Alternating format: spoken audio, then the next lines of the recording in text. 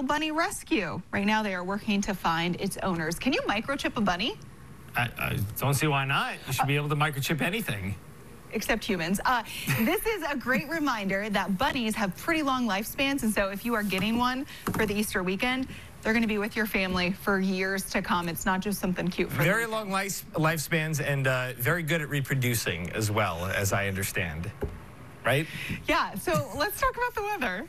So you can wind up with five bunnies that last a long time or more. Who knows? Happy. uh, want to wish everybody who celebrates it a happy Easter weekend as we head on into it. Of course, happy Passover for our Jewish friends as well. Hey, this is a great opportunity, Tiffany. I know you'll agree with me to download our ABC6 app because you get all the weather right there on the go.